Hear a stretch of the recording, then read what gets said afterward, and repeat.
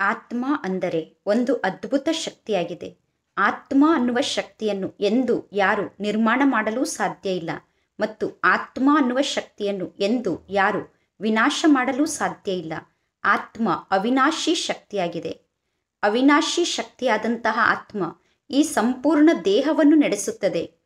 ಹೇಗೆ ನಾವು ಕಣ್ಣಿನ ಮೂಲಕ ನೋಡುತ್ತೇವೆ, ಕಿವಿಗಳ ಮೂಲಕ ಕೇಳಿಸಿಕೊಳ್ಳುತ್ತೇವೆ, ಬಾಯಿಯ ಮೂಲಕ ಮಾತನಾಡುತ್ತೇವೆ, ಆದರೆ ನಾನು ಏನನ್ನು ನೋಡಬೇಕು ಮತ್ತು ಏನನ್ನು ಕೇಳಿಸಿಕೊಳ್ಳಬೇಕು ಹಾಗೂ ಏನನ್ನು ಮಾತನಾಡಬೇಕು ಎಂದು ಯಾರು ನಿರ್ಣಯವನ್ನು ತೆಗೆದುಕೊಳ್ಳುತ್ತಿದ್ದಾರೆ?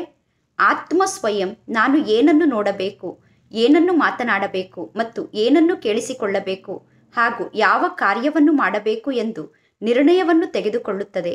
ನಮ್ಮ ಶರೀರ ಒಂದು ರೋಬೋಟ್ ಇದ್ದಂತೆ ಮತ್ತು ನಮ್ಮ ಮೆದುಳು ಒಂದು ಕಂಪ್ಯೂಟರ್ ಇದ್ದಂತೆ.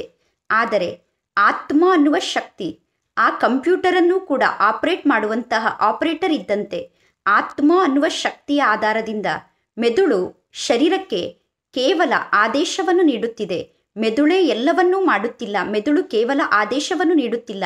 ಆದರೆ ಮೆದುಳು ಅನ್ನುವ ಕಂಪ್ಯೂಟರನ್ನು ಆತ್ಮ ಅನ್ನುವ ಶಕ್ತಿ ಆಪರೇಟ್ ಮಾಡುತ್ತಿದೆ. ಅಂದ ಮೇಲೆ ಆತ್ಮ ಅನ್ನುವಂಥದ್ದು ಅದ್ಭುತ ಶಕ್ತಿಯಾಗಿದೆ. ಈ ಶರೀರವನ್ನು ನಡೆಸುವಂತಹ ಶಕ್ತಿಯಾಗಿದೆ. ಮತ್ತು ಆತ್ಮದ ಆಧಾರದಿಂದ ಈ ಶರೀರ ನಡೆಯುತ್ತಿದೆ. ಆತ್ಮ ಈ ಶರೀರವನ್ನು ತ್ಯಾಗ ಮಾಡಿದರೆ ಈ ಶರೀರ ಯಾವ ಕೆಲಸಕ್ಕೂ ಕೂಡ ಬರುವುದಿಲ್ಲ. ಅಂದ ಮೇಲೆ ಆತ್ಮ ಅನ್ನುವಂಥದ್ದು ಅವಿನಾಶಿ ಶಕ್ತಿ ಮತ್ತು ಅದ್ಭುತ ಶಕ್ತಿಯಾಗಿದೆ. ನಾನು ಸ್ವಯಂ ಆತ್ಮ ಅನ್ನುವ ಅವಿನಾಶಿ ಶಕ್ತಿಯಾಗಿದ್ದೇನೆ, ಅದ್ಭುತ ಶಕ್ತಿಯಾಗಿದ್ದೇನೆ. ನಾನು ಮಸ್ತಕದ ಮಧ್ಯದಲ್ಲಿ ಪ್ರಕಾಶಮಯವಾಗಿ ಹೊಳೆಯುವಂತಹ ಅದ್ಭುತ ಶಕ್ತಿಯಾಗಿದ್ದೇನೆ. ಮಸ್ತಕದ ಮಧ್ಯದಲ್ಲಿ ಕುಳಿತು ನಾನು ಇಡೀ ಶರೀರವನ್ನು ಕಂಟ್ರೋಲ್ನಲ್ಲಿ ಇಟ್ಟುಕೊಂಡಿದ್ದೇನೆ.